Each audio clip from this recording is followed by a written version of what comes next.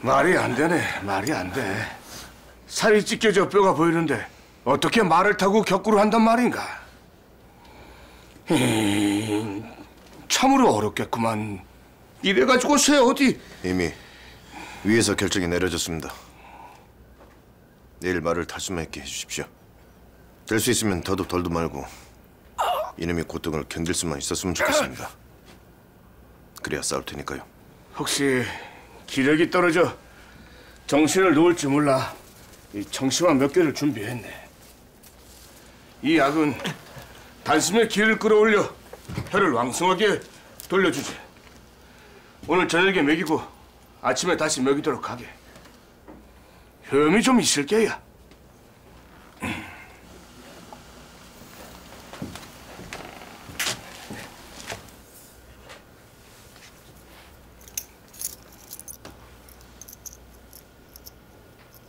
이 침을 맞고 나면 몸놀림이 한결 수월해질 거야. 그리고 귀중한 첨약을 아시초스에 전해 놓았네. 내일 격구장에 가기 전에 마시도록 하게. 이 비방의 요양이 잘 들으면 한번 해볼 만 할 것이고 아니 들으면 글쎄 운명에 맡겨야겠지.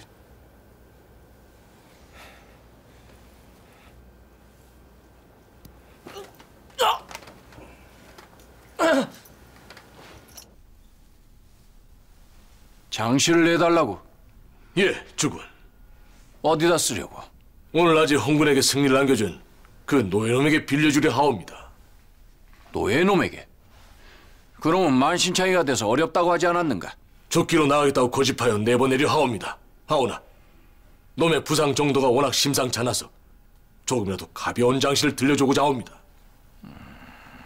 홍군의 체면이 걸려 있사옵니다. 그렇지. 내 장시가 문제가 아니라 홍군의 체면이 문제지. 그건 그래.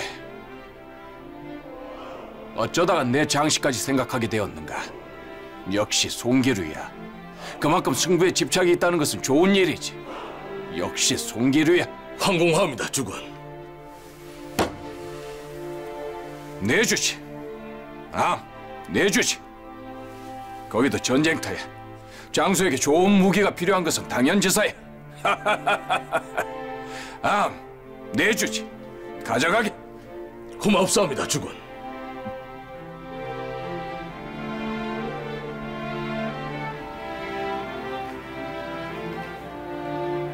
전이도 다녀갔고 송기류 장군이 아버님께 장시도 빌려갔고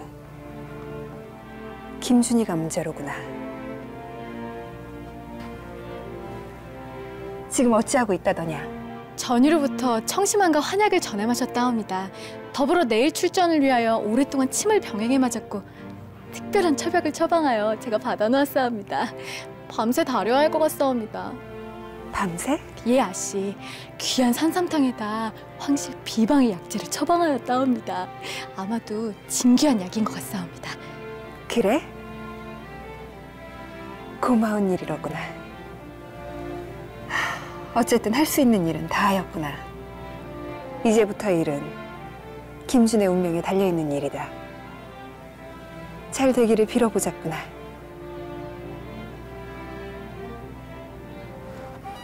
김준이라.